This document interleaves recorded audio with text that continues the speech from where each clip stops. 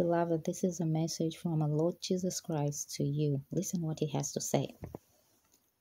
All of you are members of my family, and you are the object of my unending affection.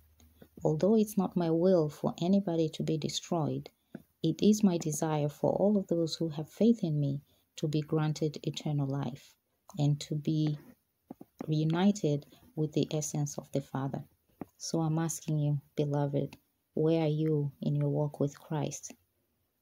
I pray that uh, you start diligently, you and your families, you start diligently seeking Him today.